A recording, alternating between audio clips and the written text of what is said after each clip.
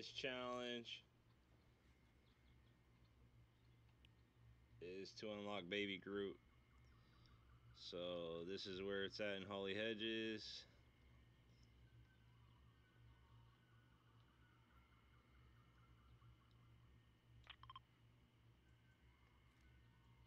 There he is, just dancing away, little happy camper.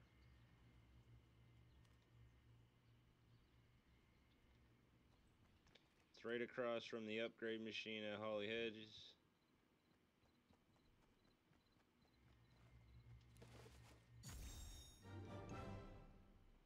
Got him. There he is. Pretty cool back bling.